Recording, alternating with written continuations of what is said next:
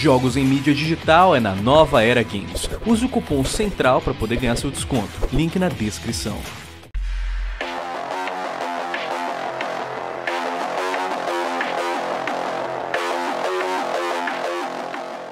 Cyberpunk 2077 é um dos jogos mais hypados de toda a história do mundo dos games. Desde o seu anúncio há diversos anos atrás, a gente teve um breu total e agora, depois de um ano desde a E3 2018, nós tivemos o primeiro trailer atualizado, a primeira gameplay e cara, nossa expectativa está nas alturas. Afinal, são os desenvolvedores de The Witcher 3, um dos melhores RPGs ever. E apesar de termos grandes novidades muito positivas, inclusive de que o grande Keanu Reeves vai estar participando do jogo e já deu a data de lançamento oficial, o game também está rodeado de polêmicas e controvérsias recentemente. E cara, essas polêmicas estão alcançando um nível tão absurdo, velho, que não tem outra palavra para, não tem outra frase para descrever a não ser uma pirâmide de merda. Essa pirâmide de merda tomou uma proporção que agora está misturando feministas, tá misturando galera de jornalismo gamer que tipo se considera, não sei, de esquerda, basicamente. E agora. LGBTs. LGBTs, mano, tá misturando um monte de coisa e estão culpando os youtubers por causa disso. Sim, tá rolando um monte de polêmica e agora eles estão culpando youtubers falando que nós somos os responsáveis por toda essa merda e que nós estamos defendendo o Cyberpunk, estamos defendendo a CD Projekt Red e que isso é uma coisa totalmente errada. Mano, é absurdo atrás de absurdo, a gente precisa contar para vocês o que tá acontecendo para vocês não serem gado e não ficarem alienados em relação a essas novidades. Portanto, galera, quem falou com vocês é o Leandro Central e agora eu e o White vamos explicar para vocês todas essas polêmicas de Cyberpunk 2077 e o que, que isso tem a ver com youtubers que só estão basicamente noticiando e passando a sua opinião, né, cara? Pois é, mano. Tipo, galera, sente só. Os jornalistas vão lá fazer uma matéria falando que o game é racista, porque mata haitiano, que o protagonista é branco, porque o game é, não superou as, as, expectativas deles, porque o protagonista é branco de novo, igual foi Days Gone. Mas assim, o culpado é a gente, porque é a gente que escreveu isso, né? Porra, os caras escrevem essas coisas e o culpado é a gente por defender o jogo, que por sinal, Lion, todas as defesas que a gente tem de Cyberpunk, se você vê, é tudo por causa de histórico da CD Projekt. A gente pega The Witcher 3, que é um dos melhores RPGs que já fizeram nessa geração, se não o melhor jogo da geração, cara. Lindo pra caramba, gameplay sensacional, história muito boa. E por causa desse histórico, a gente defende a empresa e depois de ver tudo que a gente tá vendo sobre Cyberpunk, é óbvio que a gente vai defender o jogo, o jogo tá sensacional, velho. Então, assim, a galera tá louca fazendo matéria contra o youtuber, mano. O que que tá acontecendo? Mano, vamos explicar o que houve. Recentemente a gente teve a E3 2019, o maior evento gamer do ano, trazendo diversas conferências e novidades do mundo dos games por meio de apresentações de diversas empresas. Uma das empresas que se apresentou foi a CD Projekt Red, responsável por Cyberpunk.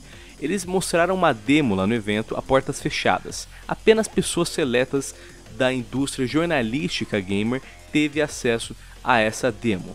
Então alguns jornalistas foram lá, entraram na sala e viram essa gameplay Cyberpunk. Isso já tinha rolado antes, a primeira gameplay de Cyberpunk pública foi mostrada Sim. pela primeira vez desta maneira e foi de boa. Aliás, aliás, essa nova gameplay a gente vai ver no final de agosto na PAX East, que uhum. é outro evento que vai ter. E eu tô bem hypado para ver como é que foi.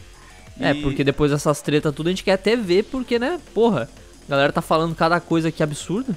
Exato, porque o que acontece?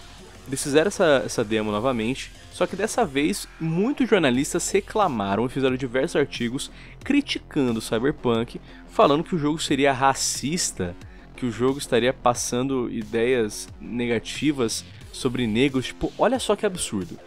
Durante uma, uma cena da gameplay, uh, você vai para um bairro que é basicamente de haitianos. E você tem uma missão de invadir uma base de uma gangue chamada Animals.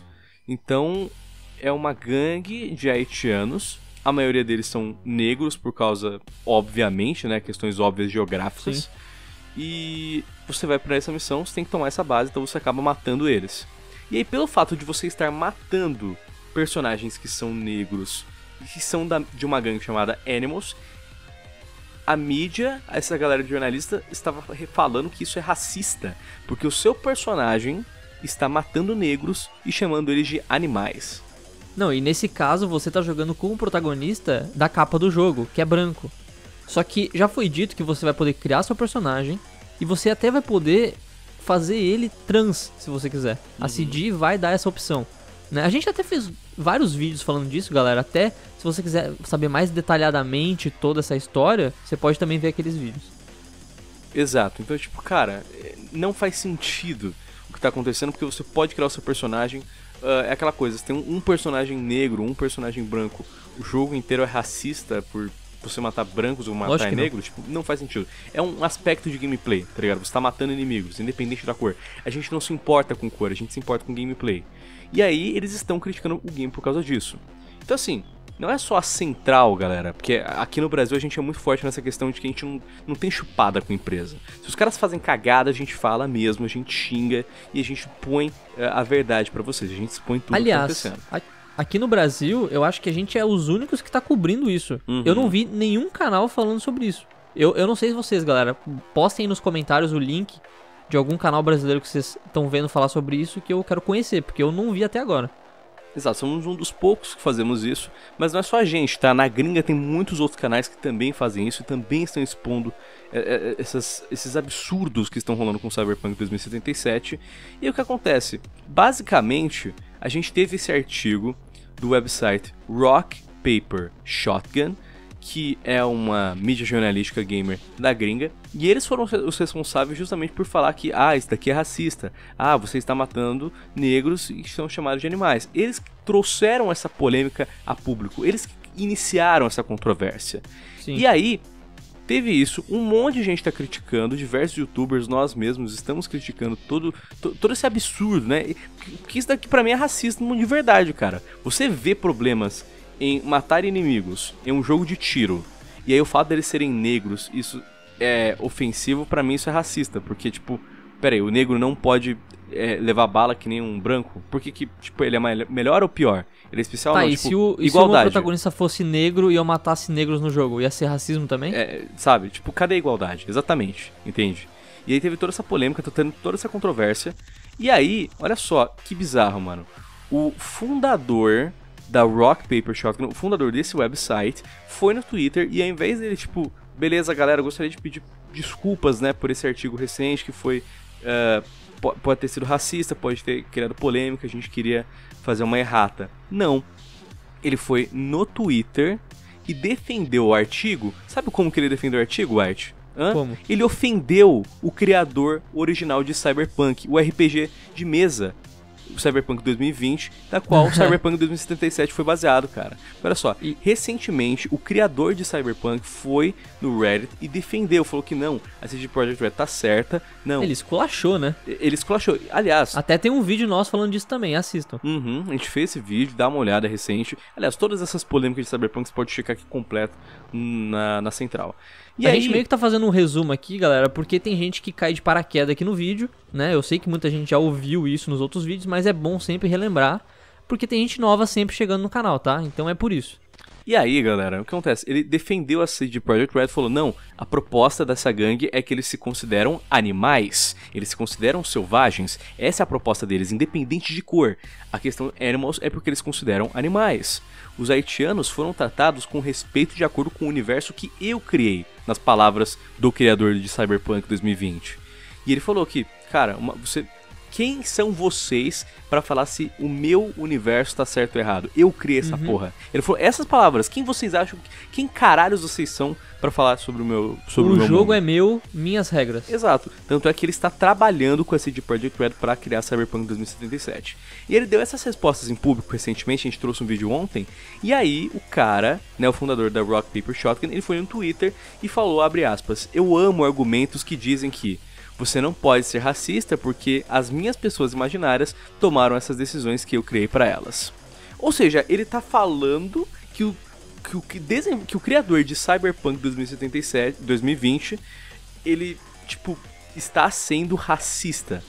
Só que ele tá dando uma desculpinha que, tipo, não, não, eu criei esse mundo da maneira que eu quiser, vocês não mandam em mim, logo eu tenho passe livre. Sendo que, vale lembrar uma coisa? O criador de Cyberpunk 2020 é negro. Ele é um. o cri... Exato. Mano, ele, ele é, negro. é, negro. ele criou esse mundo, ele criou esta comunidade, esses animals. E aí, tipo, quando ele defende isso, o cara tá falando que, tipo, ah, não, ele tá inventando isso por causa que ele criou um universo, tá dando desculpinha. Então, assim, é um absurdo, mano. Ele ainda vai lá e, e fala que tipo, o artigo tava corretíssimo e, tipo, ele vai no Twitter e fala: Ó, pros trolls que estão querendo vir me provocar, vou dar umas dicas para vocês depois de coisas que vocês podem tentar me zoar, mas que eu vou ignorar. Ou seja, o cara gosta da atenção, o cara gosta da treta, o cara quer mais é que venha no Twitter dele encher o saco dele porque, tipo, não sei, mano, ele tem problema de, de, de atenção, velho, tem problema de, de care... é carente. Ele é carente, é carente, é carente. Tá ligado? Ele é carente. Ou seja, é um babaca. Esse fundador da Rock Paper Shotgun é um babacão, esse cara. Esse é um idiota. É, é que nem aquela treta do Resident Evil, lembra? Que estavam reclamando que todos os zumbis eram negros, só que, tipo, o jogo era na África. Tipo, oi? Não. Eu estou sendo racista é. porque meu jogo só tem negros. E ah. aí eu tenho que colocar um monte de negros e ficar matando negros. Por... Mas o jogo é na África, porra. Não, Ia ter zumbi como então? É, é, um absurdo, é um absurdo.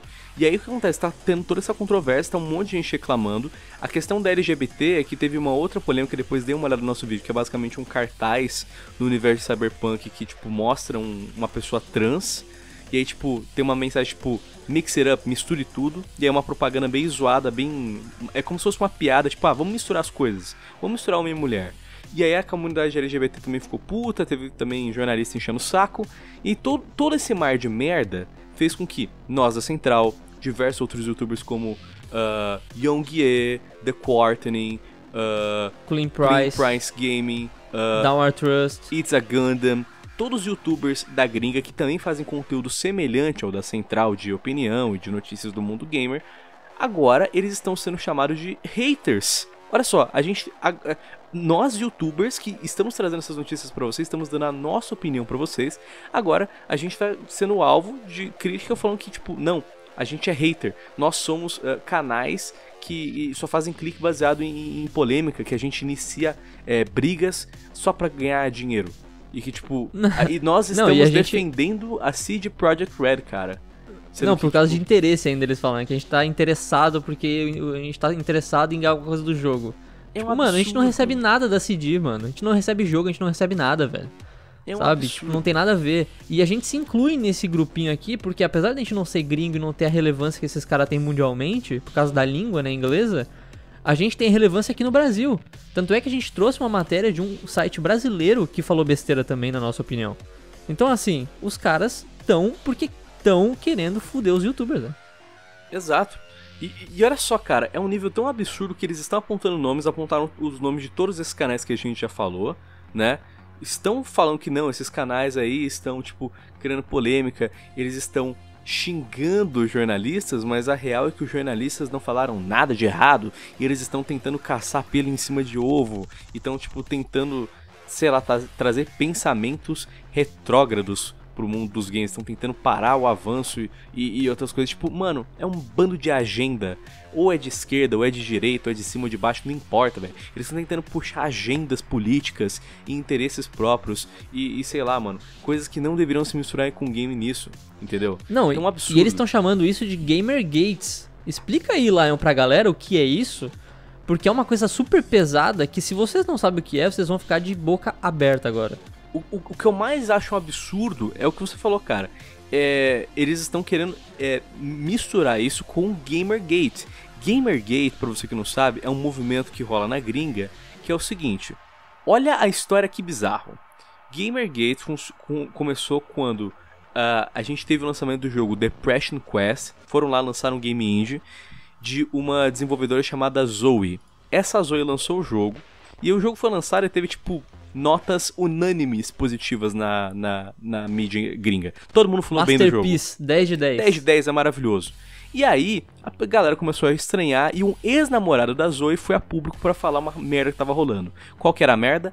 A Zoe, a desenvolvedora do jogo, estava indo pra cama com diversos jornalistas de jogos para conseguir nota positiva pro jogo, velho.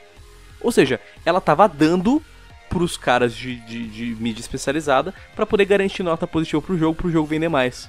Tipo, fraudando a análise do jogo dela. Exato. Em troca do corpício. Exato. Tá dando botão para conseguir nota. E aí, isso foi rotulado, né, quando foi noticiado pela, pela gringa, foi rotulado como o caso Gamergate, que é como se fosse uma brincadeira, uma alusão ao caso Watergate, foi um outro caso de corrupção que rolou lá nos Estados Unidos, também questão de ética e diversas outras coisas. Só que nesse caso, ao invés de se chamar Watergate, seria Gamergate, né, um caso de corrupção no mundo dos games. Então, era um caso justamente falando de pessoas que estavam fraudando análises, jornalistas gamers que estavam, tipo, faltando com ética e, e desenvolvedores que estão, tipo, dando o cu para poder ganhar nota de jogo. Ou seja, é um absurdo atrás do outro. O caso Gamergate já é um absurdo. Só que pior ainda, velho. Olha que loucura. As feministas, ó, feministas foram e começaram a falar que isso era, de, era um bando de argumentos machistas e raivosos para ofender mulher. De acordo com elas, isso era um problema que só estavam problematizando o lado da mulher e da intimidade dela, enquanto a ética dos jornalistas estava sendo jogada de lado. Ou seja, pegaram a situação e falaram que. E inverteram, né? E, e inverteram, elas começaram a se vitimizar começaram a falar: não, vocês estão falando da menina, mas ela dá o corpo para quem ela quiser. Ela faz o que ela quiser com o corpo Concordo. dela. A intimidade Concordo. é dela. É, vocês o- têm que estar mas tacando os pau dois- no jornalista, não nas meninas, mano. Não, mas, mas se você for ver, tipo, ela pode fazer o que ela quiser. Dá pra quantos quiser por nota. Mas os dois estão errados. Ela não pode pedir nota pra um jogo dela, pra um produto dela, e o jornalista não deveria ter aceitado. Os dois lados estão errados. Só que a feminista chegar e falar, ai, ela está correta, ela pode fazer o que quiser. Errados são eles. Mano, vai se fuder, mano. E vai a- se fuder, velho. a- Nada a ver isso, velho. E aí eles pegaram, é, elas pegaram esse caso pra se vitimizar e hoje em dia ela- as feministas usam o termo Gamersgate como uma maneira de, de se vitimizar no mundo dos games. Hashtag Gamersgate. Hoje eu sofri assédio no Counter-Strike. Hashtag Gamersgate. Ah, me, me mandaram pra cozinha no League of Legends. Hashtag Gamersgate. Tipo, agora as mulheres estão, né, as feministas estão usando a hashtag Gamersgate pra poder usar como se fosse um movimento anti é, machistas nos- no mundo dos games, cara. Tipo, nada a ver com a história original. Pra você ver como esse montante de merda já tá retorcido. Pegaram um caso de fraude e corrupção e ligaram a, a feminismo. E agora estão querendo ligar o Gamersgate aos youtubers, cara. Então, então tipo, tentando ligar uma coisa a outra. O que, que a gente tem a ver com Gamersgate, caralho? O que, que a gente tem a ver com defender empresa? O que, que a gente tem a ver com querer ofender trans, com querer ofender negros? Tipo, mano, a gente não quer nada disso. A gente tá reclamando de que tem jornalistazinho fazendo matéria de merda, querendo criticar o jogo por coisa que não tem nada a ver.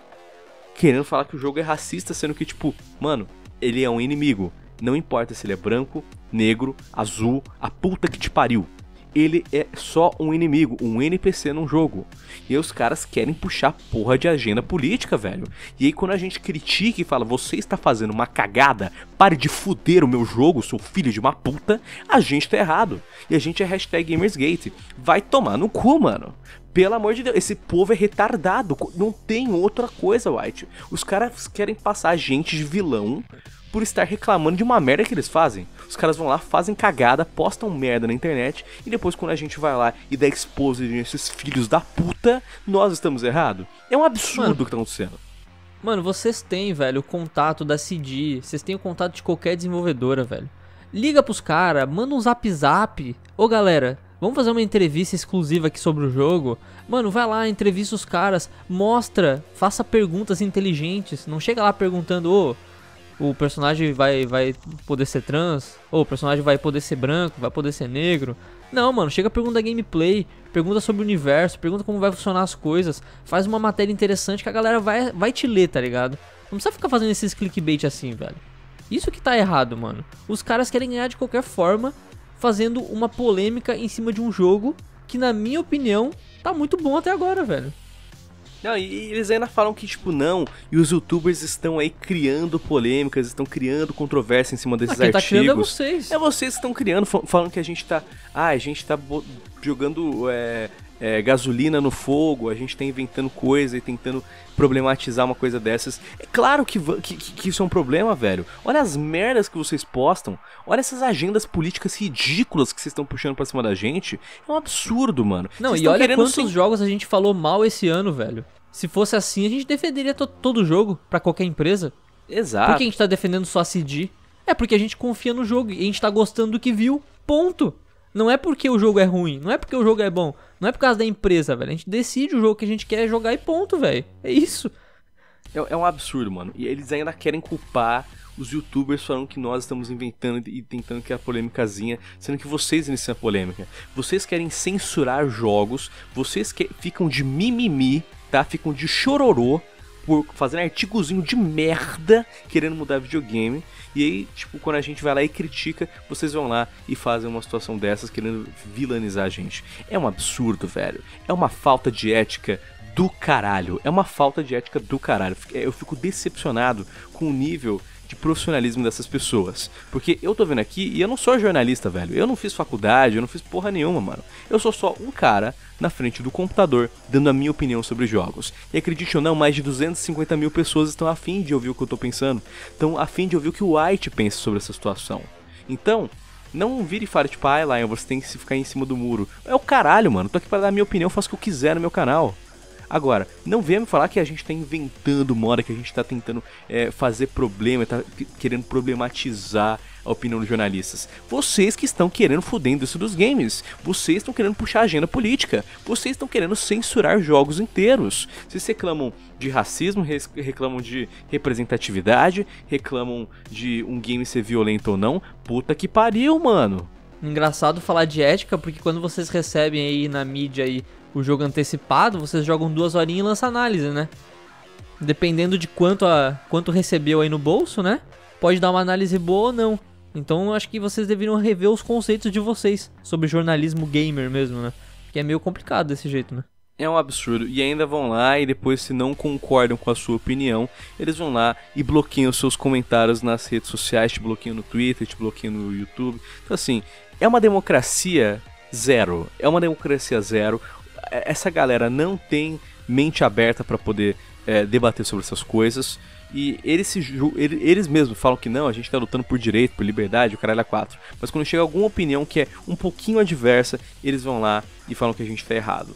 Eu não, eu não sou contra uh, direitos negros, eu não sou contra a representatividade LGBT, não sou Pelo contra contrário. nada disso. Pelo contrário, mano. Eu sou totalmente a favor de qualquer tipo de representatividade e eu sou a primeira pessoa a reclamar de qualquer tipo de racismo. Mas não é o que tá acontecendo aqui, velho. Isso daqui é caçar pelo em ovo, é tentar enxergar racismo onde não tem, velho. Aquilo são inimigos, NPCs num bairro, velho. Ponto. É um bairro de haitianos. Você quer que os haitianos sejam o quê? Porra, vermelho, caralho. Acorda. Os inimigos do Resident Evil que se passa na África. Vai ser o quê? Branquelo dos olhos azuis? Para com essa tem porra, Tem branco mano. na África. Tem branco na África, mas não é a maioria, velho. É, é, é, muito simples, mano. É só usar a porra do cérebro. Liga a porra do seu neurônio, para de cagar, para de bostejar na internet e querer culpar os outros depois que você sofre hate por coisas óbvias. Então é muito simples vocês tentarem tirar os problemas do seu cu e apontar pro cu dos outros. Mas a realidade é que a gente sabe muito bem quem tá certo e quem tá errado nessa porra. E o público justamente é quem tá falando a verdade. Então, galera, mais do que ninguém, eu te pergunto: o que você acha dessa história? O que você acha dessa mídia jornalística que tá acusando os youtubers e tá fazendo essas polêmicas, criando e, e, e, falando que nós, né, somos os vilões por trás dessa história. Deixa sua opinião nos comentários, eu tô curiosíssimo para saber o que, vocês pensam disso. Não se esqueça também de se inscrever e clicar no sininho de notificações, assim você não perde os nossos próximos uploads e também cheque os nossos outros vídeos de todas as polêmicas de Cyberpunk para ficar inteirado em todas as novidades, beleza? Enfim, quem falou que vocês foi o Lion da Central, e o White, muito obrigado pela sua atenção. Espero que vocês tenham um ótimo dia, uma boa sorte nos campos de batalha até mais. Valeu.